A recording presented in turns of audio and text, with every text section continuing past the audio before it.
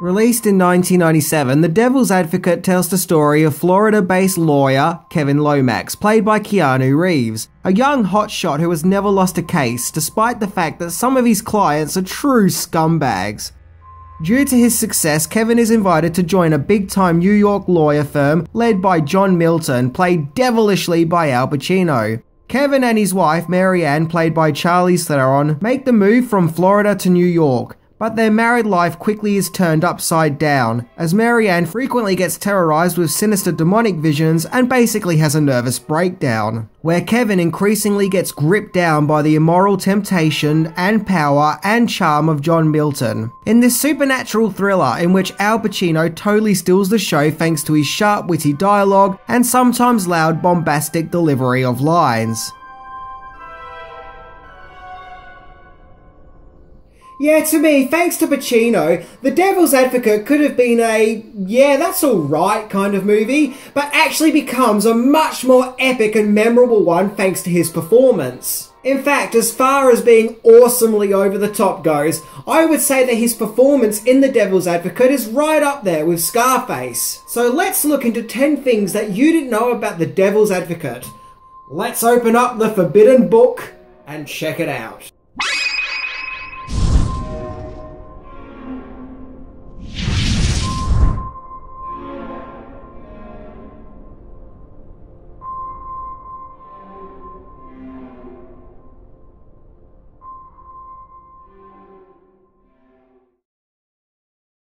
Number 10, based on a book. The Devil's Advocate is actually based on a novel of the same name by American author Andrew Neiderman. The book was published in 1990 and it has the same bare basic premise of the movie, in that it's about a young lawyer, who in the book is not called Kevin Lomax but Kevin Taylor, who joins a New York firm thinking that he's hit the big time, only to see the true evil of the firm after he joins it, where evil criminals walk free, with the firm being run by the devil himself. One user on Goodreads describes it as being, quote, the firm meets Rosemary's Baby, of which I couldn't have said it better myself. But other than that, the book and film are actually totally different, as there are tons of changes between the book and movie, namely the endings. Unlike the movie where Kevin Lomax sacrifices himself only to return at the start of the movie, giving him a second chance, in the book Kevin Taylor actually kills the devil instead, aka John Milton, where he is charged with murder and sentenced to life imprisonment, giving it more of a dark, bleak ending. And I think that The Devil's Advocate is one of those rare occasions when a movie is actually better than the book that it's based off. Number 9. At one stage, Joel Schumacher was going to direct. In the early 90s, Andrew Neiderman pitched his novel to Warner Brothers, and they were interested, so they brought the rights to the story of The Devil's Advocate to turn into a movie. So none other than Joel Schumacher came on board. Now, before you shrug this off and think, oh yeah, the guy who gave us bat nipples, just remember this would have been at a time when he had just previously given us The Lost Boys, Flatliners, and possibly Falling Down. So he would have been perfect for the Devil's Advocate. Brad Pitt was cast as Kevin, and this version of the movie would have featured a scene where the New York subway system turns out to be the circles of hell. This version of The Devil's Advocate was actually more special effects heavy and described as being more of a Hollywood movie.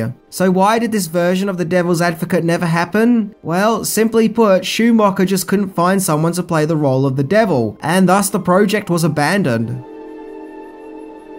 But no doubt there is a pocket reality where Joel Schumacher's special effects heavy Devil's Advocate starring Brad Pitt exists.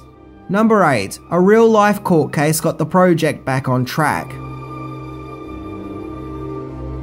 So, as mentioned, the Devil's Advocate under the helm of Joel Schumacher saw the project shelved. However, it was a real life notorious court case that got Warner Brothers interested in the Devil's Advocate again, and that was the O.J. Simpson trial.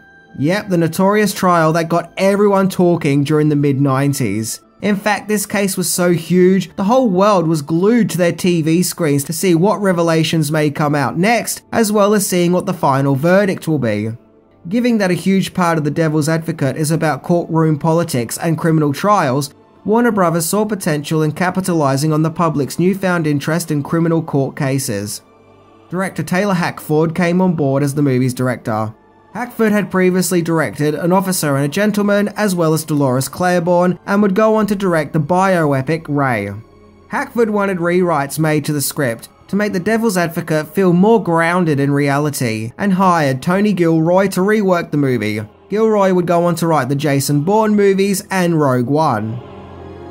And what with all these new rewrites taking place, Hackford and Gilroy added the subplot of Kevin turning out to be Milton's son. Another revelation that wasn't in the book but was purely created for the movie. Number 7. Casting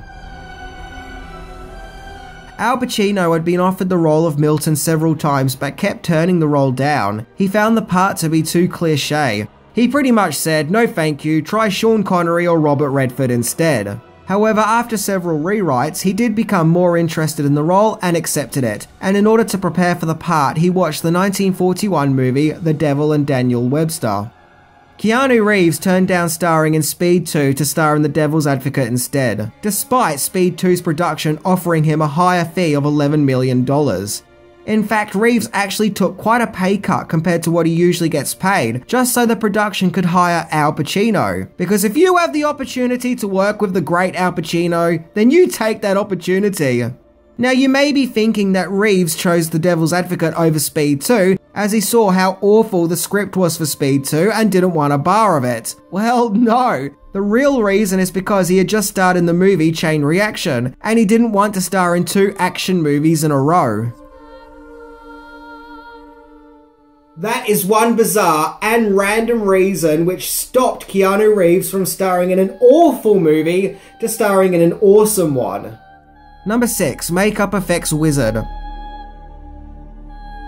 The makeup effects for the movie were created by movie makeup legend Rick Baker, who previously provided the makeup effects for An American Werewolf in London and Coming to America. And the very same year The Devil's Advocate came out, he also provided many of the aliens seen in Men in Black. Baker was responsible for adding the demonic looking faces to the human characters, and his work in The Devil's Advocate does look more digital than his usual work. However, there was one special effects scene that was quite intricate. It's the scene where at the end of the movie when Al Pacino morphs into a younger Keanu Reeves, which even today is still a pretty good effect. However, in between being 1997 Al Pacino and Keanu Reeves, for a brief second we see a much younger Al Pacino. This was actually Pacino's likeness from the 1973 movie The Godfather. And in order to achieve this effect, molds of Pacino's face from The Godfather were provided by Dick Smith, who did the makeup effects for the classic Mafia movie.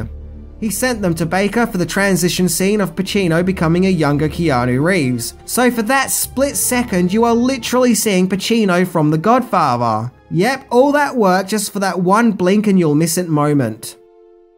In addition to that, here are some clay molds that Baker created for The Devil's Advocate. And some of these I don't even think were used in the film, which is a shame as some of them look truly creepy. Ew, that's some nightmare fuel. Number 5. The Music of the Devil's Advocate. The music of The Devil's Advocate was scored by James Newton Howard, whom had already scored several movies for director Taylor Hackford.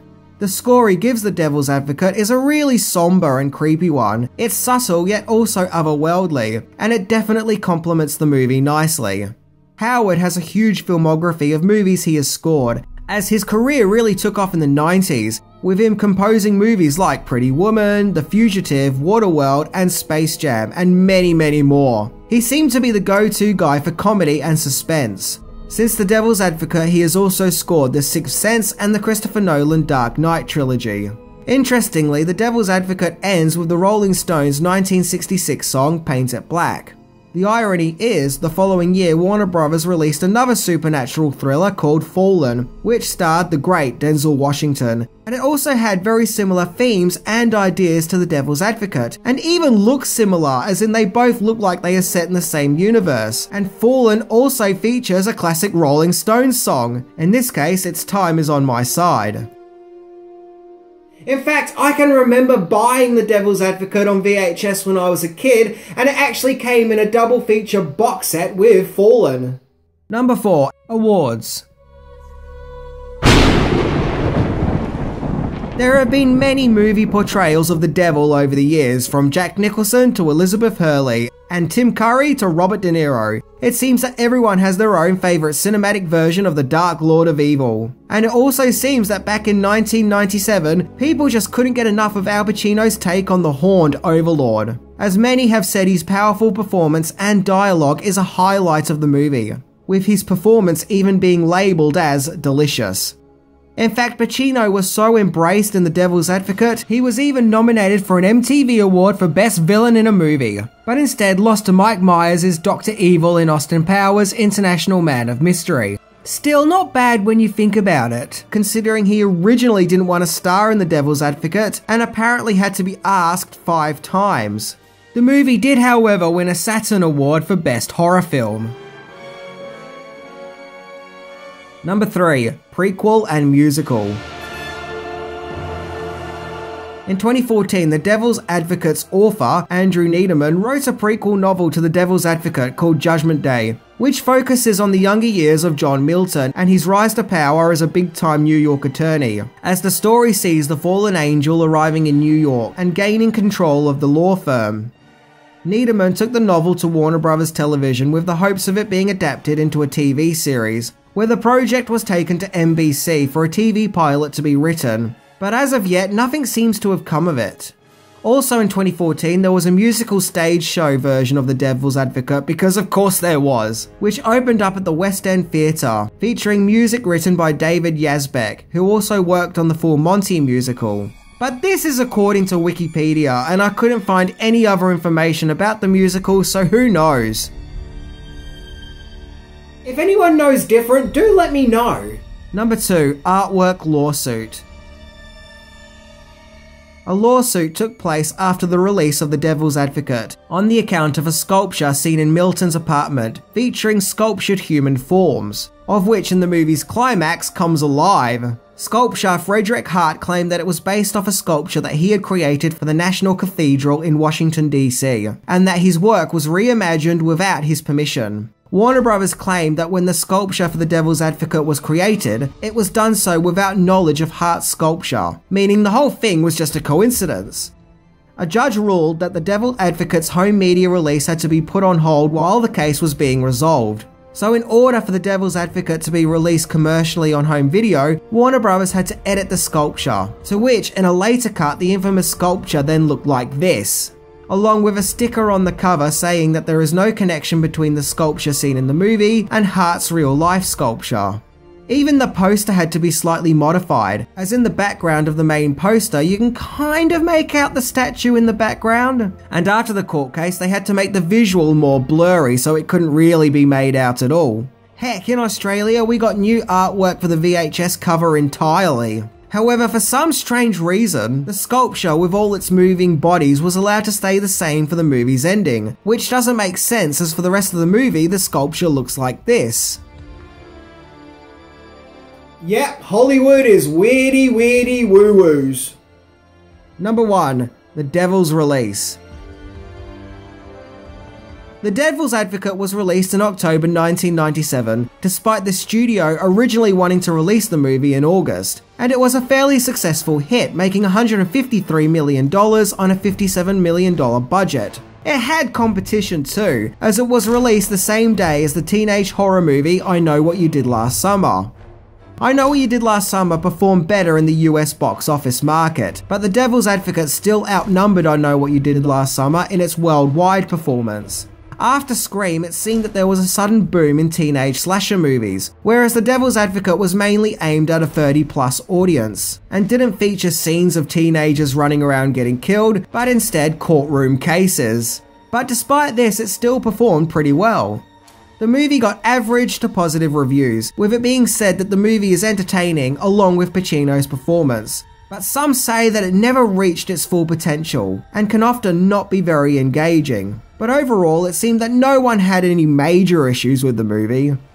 In 2014, Yahoo labelled The Devil's Advocate as being Pacino's most underrated movie. And yeah, I think I kind of agree with that, as it doesn't get anywhere near as much recognition as, say, The Godfather or Scarface. So, to conclude, The Devil's Advocate is a creepy and haunting story, and it's definitely worth going back and checking out again, It confronts us with many disturbing scenarios, as the devil's advocate shows us what happens when we leave behind morality and bite into the forbidden fruit of power and corruption. The 90s had many great supernatural thrillers grounded in a bleak reality, like Jacob's Ladder and The Sixth Sense. And if you're a fan of those movies, then you should definitely check out The Devil's Advocate. It sits in nicely with that genre. But above all, it's worth watching for Al Pacino's performance alone. I mean, think about it. It's a movie where the devil is a lawyer and is played by Al Pacino. That's a movie premise right there. Anyway, I'm Minty, and remember, look but don't touch, touch but don't taste, taste but don't swallow. See ya!